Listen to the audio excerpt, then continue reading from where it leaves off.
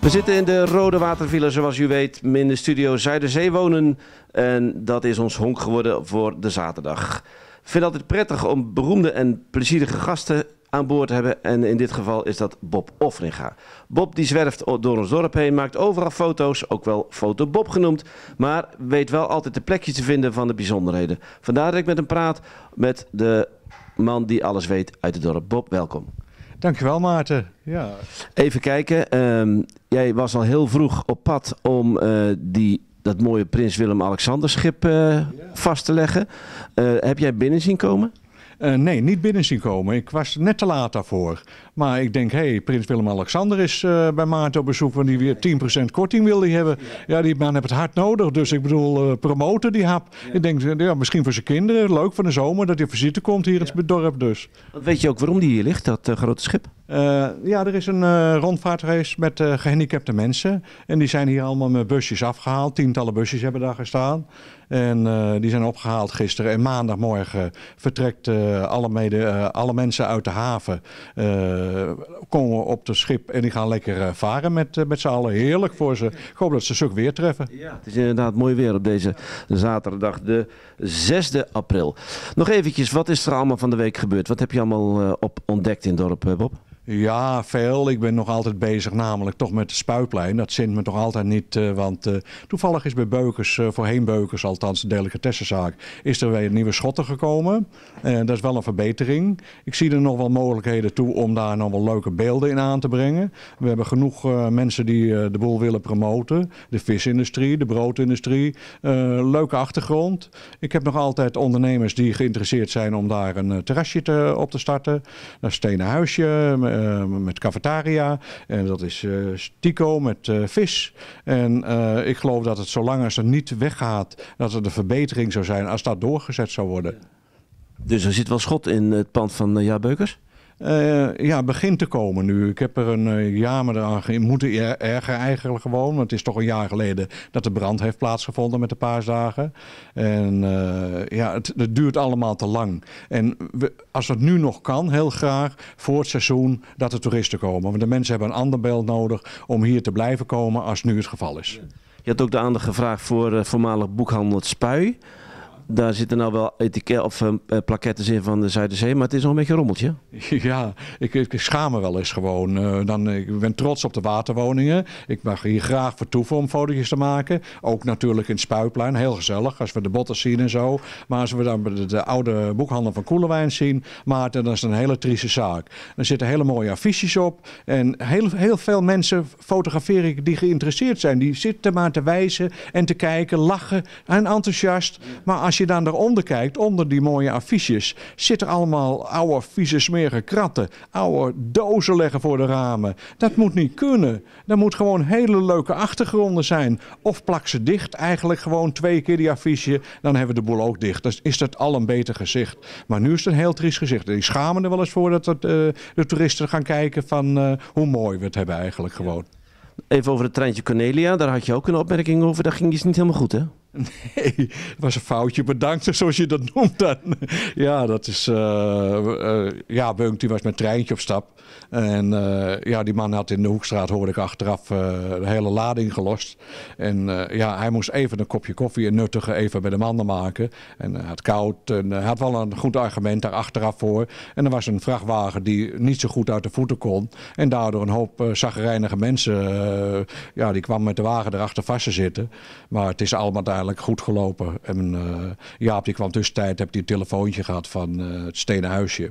En via WK zijn we er zo weer achter gekomen. Hij is overal te vinden, ja, Bunk. Ja, hij is mobiel wat dat betreft. En het is allemaal prettig verlopen en opgelost. Hoe kom jij nou achter wat er allemaal gebeurt? Ben je nou constant buiten? Sta je achter dikke bomen? Ben je re recherche aan bedrijven? Nee, ik ben juist, uh, ik neem waar, zoals de vorige keer verteld. Ik stel vast dat ik handel. En als ik iets zie, bijt ik me er ook in vast. Ik ben geen wegloper. Ik, ik ben er en ik doe er wat mee. Ja, en of Jaap er gelukkig bij was dat ik weer foto's ervan verzwagen, weet ik niet. Maar goed, het treintje was weer in de belangstelling. We gaan 16 april gaat hij weer rijden. En, en eind april weer in de oranje kleurtjes hoorde ik. Dus ik heb de uitzending van jullie gezien. Nou, ik vond het hartstikke toppie. En ik, daar kijk ik weer naar uit. Dan kan ik weer fotograferen. Jij maakt veel foto's. Heb je nog een paar mooie foto's eh, die de kijkers wil laten zien? Ja, het bootje gewoon, eh, dat is leuk, gewoon vanmorgen. Die hier in de haven ligt? Ja, dat is heel leuk. Die legt hier op dit moment pal bij de waterwoningen. Ja, ik bedoel, ik ben daar eh, als gast heb ik er boven in de stuurhut mogen eh, komen. En ik heb hele mooie foto's mogen maken. En eh, dat vond ik geweldig. Ja, ik bedoel, ik heb ze naar jou toegestuurd. Ik heb ze toevallig niet uitgeprint nu. Maar ik heb ze wel naar jullie gestuurd. eh RTV Bunschoten. eh, RTL Bunschoten, sorry. En eh, jij hebt dat, die beelden mo- moeten zien in ieder geval. Ja, krijg er per dag een stuk of 20, 30 van jou.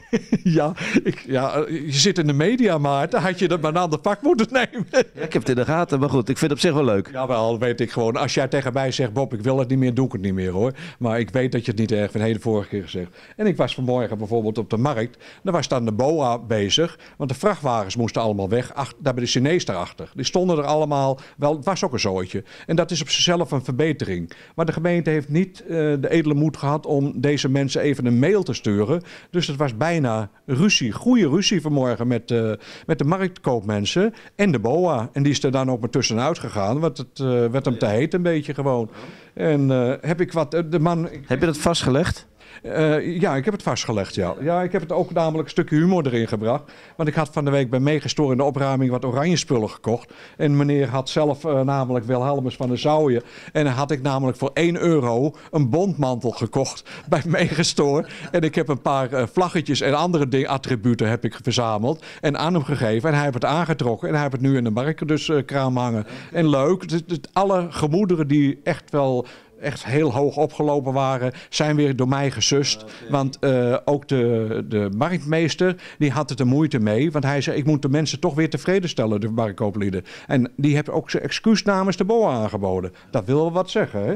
Maar kijk, als je dat ziet gewoon, dan ook de, men- de mensen weer. En dat is Wilma. eh, ook eh, in en in koud gewoon de mensen. En die doet mee, leuk, gezellig, vrolijk. En dan heb ik, heb ik een 1, 1 eurotje aan uitgegeven. Moest kijken wat de plezier de mensen heb. Ja, en ik ook. Dan kan ik toch weer wat foto's maken. Maar je hoopt natuurlijk ook dat het een beetje warmer wordt. Ik bedoel, ik spring even naar dat gedeelte toe. De zon schijnt nu. Het is natuurlijk toch altijd bittere kou. Ja, de mensen hebben het slecht op de markt. De kooplieden hebben het echt slecht. Die klagen ook steen en been dat ze eigenlijk geen brood kunnen verdienen op dit moment. De laatste maanden niet. Want het is heel triest weer geweest. Mensen moeten extra eh bondlaarsjes kopen, bondsjassen. eh enkel gewoon om warm te blijven op die markt. Gewoon. De marktkooplieden zelf. En eh, die balen ervan dat de consument niet komt. Want ze moeten dit, de, de bekkies moeten toch gevuld worden. Die kassa moet rinkelen gewoon. Ja, dat, moet, dat moeten we allemaal. Ik bedoel, en hoe meer we op de markt komen. Want ja, dat scheelt weer. Het wordt er gezelliger op. De terrasjes gaan nu weer open. Eh, hopelijk gaat het allemaal leuk worden en gezellig. En dan worden de mensen weer vrolijk. Die gaan weer het geld laten rollen. En dat hebben we allemaal hard nodig in het dorp. Dat hebben we allemaal hard nodig. Nou, leuk eh, Bob, dat je het een beetje in de gaten houdt hoe het allemaal ruilt en zeilt hier in het dorp. We zijn je dankbaar. Dankjewel voor, eh, voor hier. Graag gedaan, Maarten. En ik hoop je nog eh, veel eh, bij je te gast mogen zijn. Eh, ja. Zeker, we vinden het ook leuk dat je het een beetje bijhoudt, zodat wij weten wat er allemaal speelt in het dorp. Dit was eh, Zuiderzee actueel vanuit de Rode Watervilla samen met de foto van Bob. Want wie wil er niet op de foto met Bob Offringa? Tot een andere keer. Dag.